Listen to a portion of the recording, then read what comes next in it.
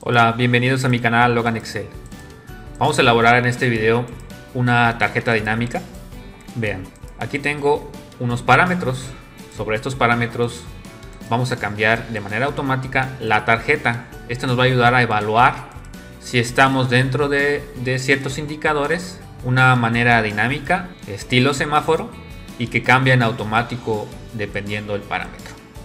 Quédense en este tutorial para ver el paso a paso si eres nuevo por aquí, no olvides suscribirte, compartir. Mi nombre es Eric Ávila y comenzamos.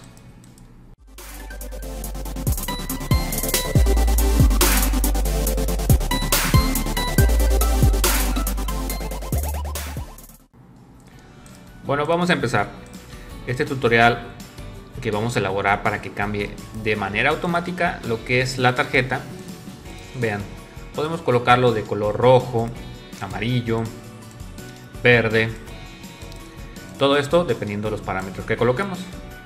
Es una pequeña tarjeta que está vinculada a una celda. Esta celda que tiene el parámetro con un formato condicional es lo que vamos a colocar.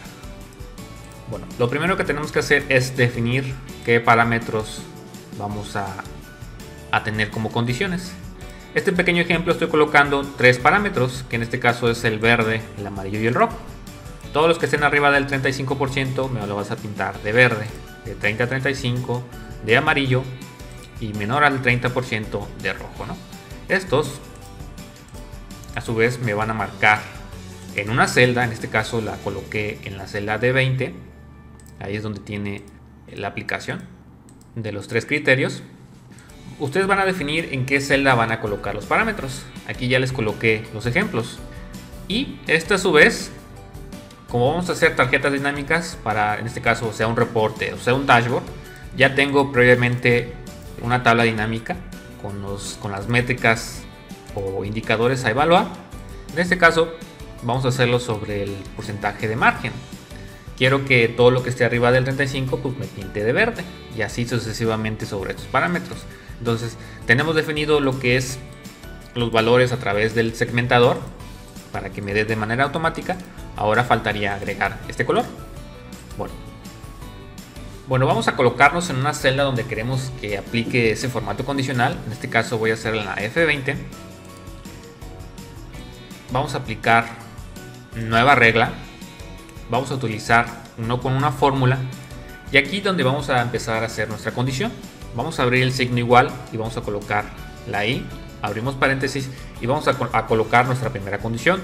En este caso, si donde está el margen o la tabla dinámica que van a evaluar, en este caso estoy evaluando la E11, ahí es donde está el valor que voy a evaluar, que es sobre mi tabla dinámica, sea, vamos a empezar con el color verde, sea mayor o igual a punto 35. ¿Por qué punto 35? Porque estoy evaluando porcentajes. En este caso, el punto 35 eh, es que se representa como si fuera el 35%. Cerramos paréntesis. Cuando se llegue a cumplir esta condición, necesitamos colocarle un formato. Vamos a apretarle formato y voy a escoger efectos de relleno. Escogemos en este caso dos tonos verdes, este primer color verde y este segundo. Aceptar ustedes pueden considerar el que ustedes quieren.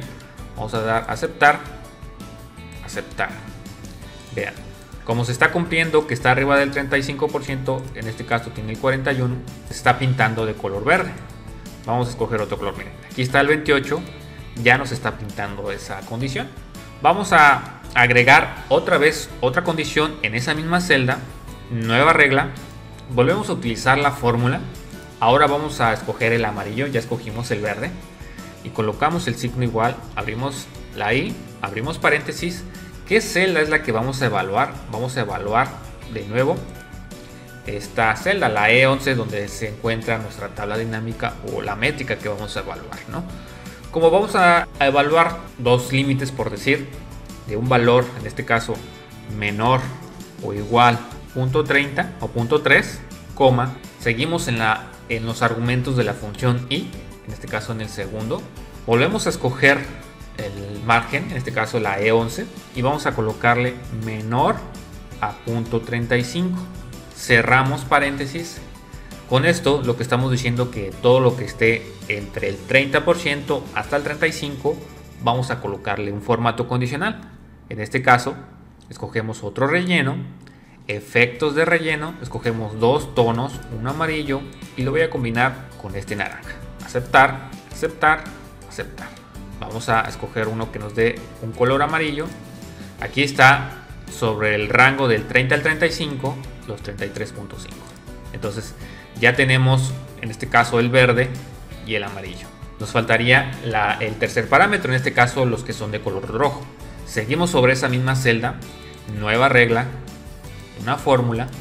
Volvemos a utilizar la función condicional y abrimos paréntesis y vamos a colocar ahora esta, esta condición. En este caso, seguimos evaluando la tabla que está en la E11 y decimos todo lo que esté menor al punto 30, cerramos paréntesis, le vamos a colocar un formato y este formato escogemos otra vez efectos de relleno y este rojo y este tono de rojo. Aceptar, aceptar, aceptar. Entonces ya tenemos los tres colores. Vean, está el rojo, el verde, otra vez el rojo y el amarillo. Ya tenemos nuestro semáforo, tenemos este indicador en una celda, pero ahora hay que convertirlo en una tarjeta como lo tenemos acá arriba. Y eso es una manera fácil de hacerlo. Bueno, vamos a tomar la celda, la vamos a copiar. Vamos a darle clic derecho en cualquier parte y vamos a escoger el que dice pegado especial. Escogemos imagen vinculada. Listo, ya tenemos nuestra forma que va a cambiar de color de acuerdo a los parámetros. Entonces, como ya tenemos una forma, lo que podemos hacer es escoger un tamaño. Esto nos va a servir como tarjeta. Y agregamos solamente, vamos a insertar ahora un cuadro de texto. Vamos a agregar, en este caso, vamos a, vincularlo. Vamos a traernos la E11. Y a este formato vamos a quitarle el relleno. Vamos a ponerle sin relleno y sin el contorno. Aumentamos el tamaño y lo centramos. Entonces nada más hacemos esa modificación y vean, de manera automática la tarjeta cambia. Simplemente lo que hacemos es agregarle otro cuadro de texto donde vamos a colocarle el nombre, vamos a colocarle que este es el porcentaje de margen, le quitamos de igual manera sin relleno y sin contorno y listo. Entonces de esa manera tenemos nuestra tarjeta donde va a cambiar de color de acuerdo al parámetro. Nos sirve como indicador de estilo de semáforo. Esto para cualquier reporte, dashboard que estemos elaborando. Espero que les haya gustado este nuevo tutorial donde podemos aplicar este tipo de formato condicional de manera creativa, lo convertimos en una tarjeta y de paso lo hacemos un semáforo. Déjenme en los comentarios qué les pareció este nuevo tutorial. De mi parte sería todo y nos vemos en un próximo video. Hasta la próxima.